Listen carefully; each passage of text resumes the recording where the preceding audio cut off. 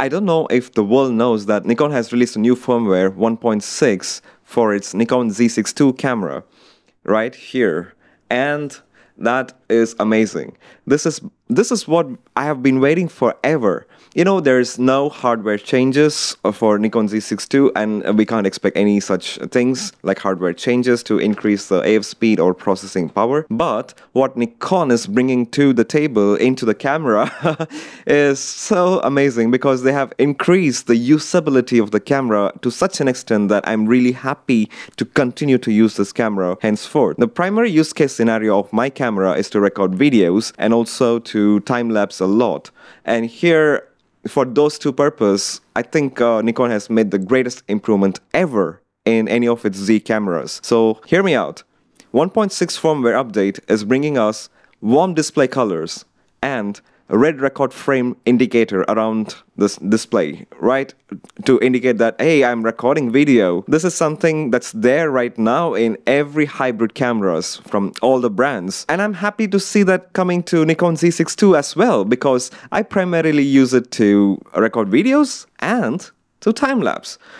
Warm display colors is the red display. Panasonic had it in its Panasonic G9 you know, like four year old camera, four or five years old camera. And that is just like a micro four thirds camera. This is a full frame camera. And now Nikon has decided to bring it in for us to time lapse at night. So once you go into menu, um, so you have the setup and then, so usually when you enter the setup menu, it will be shown, press the up button and uh, you'll be taken to this firmware version. Once you have everything over there just click update. Current version is 1.5 and the new version is 1.6 yes do not turn off the camera during the update. It's pretty straightforward. And also i like this implementation of orange or yellow to green which is very nice. So we're going to check these changes that are uh, made to this camera Z6 II update version 1.6 is amazing. Okay, update completed. Turn off the camera. Alright, let me turn it on now. Let's see what is the version. So to check the version, I'm going to menu and then let's see. From oh, oh, did you see that? So it has added one more page to the menu. That's amazing. Okay, for firmware version 1.6. Okay, now since I've already done it, I don't need to do it again. And okay, that's amazing. I'm going into setup.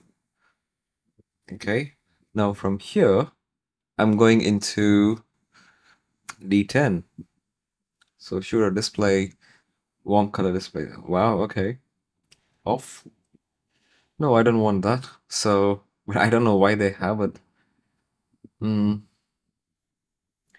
Ooh, did you see that? Did you see that? Holy moly! You see that? This mode is absolutely amazing when it comes to night time-lapse photography. When it's absolutely dark, it doesn't strain your eyes. This is amazing. Very welcome addition. Thank you, Nikon, to make this addition. Uh, I really appreciate it. This is fantastic. Ooh, the one I'm excited about is G. G7. G7. Yeah, baby. Here we come. Ha ha ha ha. On. Let's test it out. Okay, I'm gonna record. I'm gonna start recording. Wow! Yay! I got the red color here! I got it! I got it in Z6 II. Thank you, Nikon. Now, this is amazing. We have the time code as well. I have it enabled. Most people don't use it. I don't use it either, but good to have it when in case you use it.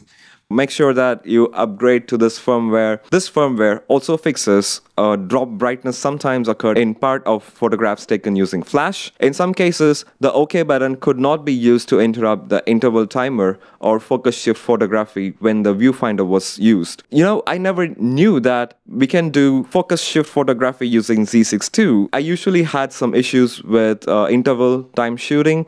If I click on OK, it doesn't work. There are some times I'm facing a lot of issues uh, with this camera. It's not like the perfect camera ever, but I think Nikon is working on fixing those issues as well because even though this camera has been released several years ago, Nikon is not forgetting the fact that it's still a Nikon camera. It's still a prosumer Nikon camera. Many of Nikon users shifted from uh, D750 to Z6 for the same reason that hey, I need an upgrade. I need a smaller camera. I need a lens that is not making any sound and it's just working perfectly for both video and photo.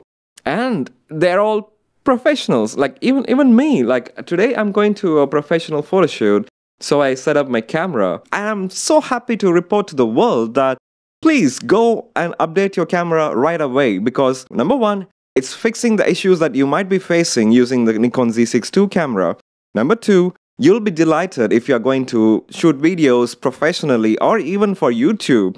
You will be delighted to know that this is bringing in the red record frame. Nikon Z6 II is just a fantastic beast and it's become more more fantastic right now thank you nikon for not forgetting us professionals in using such cameras and, and it's great to be a nikon user again it's not like I haven't been contemplating purchasing a Sony camera, switching from Nikon to Sony. Okay, see, Sony is bringing in a lot of autofocus functionalities. Sony is bringing in this, Sony is bringing in that. But by the end of the day, I always feel Nikon is bringing in a lot more for the same price without making us think that, hey, should I buy this A6700?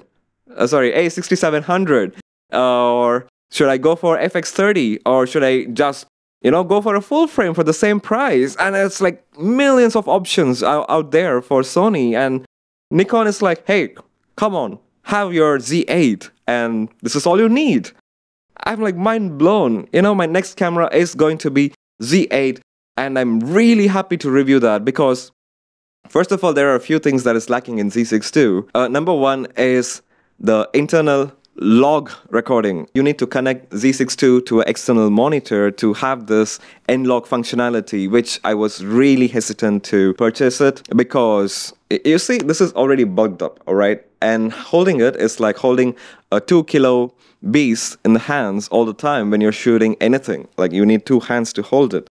Uh, on top of that, if there is an external recorder, it's gonna be too much for me. But they're giving it in Z8. Like, wow, wow, an internal log recording, an internal raw recording. Oh my god, Nikon, you, you are putting everything in your cameras, and I just love it. Don't don't lose your philosophy like this. Like this is something that is just there in Nikon right now. Don't don't lose it. All right, this is your age. Remember, this bringing in everything in just one camera and giving us, hey, this is what you need. Yeah, it's all there. You don't need to go for another camera. You don't need to be confused. And thank you for doing that because this is a prosumer while that Z8 is like pro prosumer. I don't know what it is, but it's it's having everything. And I don't need to be confused. Okay, if I need that, that's the only camera I can go for, and I'm happy with that. If I need something like a bigger battery or a bigger form factor, or I need something, you know, professional looking, I can go for a Z9, of course, but uh, Z8 is more than capable, and I think it's more convenient and it's the right choice to make at this point of time. And so I'm definitely going for a Z8 upgrade, but I'm still keeping the Z6 II forever. Why? Because it's got the greatest time-lapse capabilities ever, and I just purchased this battery grip for time-lapsing all the time. I'm really happy to keep using this Nikon Z6 II, and I'm really happy that Nikon is not forgetting us professionals using the Z6 II all the time. And so uh, thank you for bringing this new firmware upgrade to all of us Nikon Z6 II users. And I am really, really excited to keep using it. And so, um, yeah, that's the end of the video.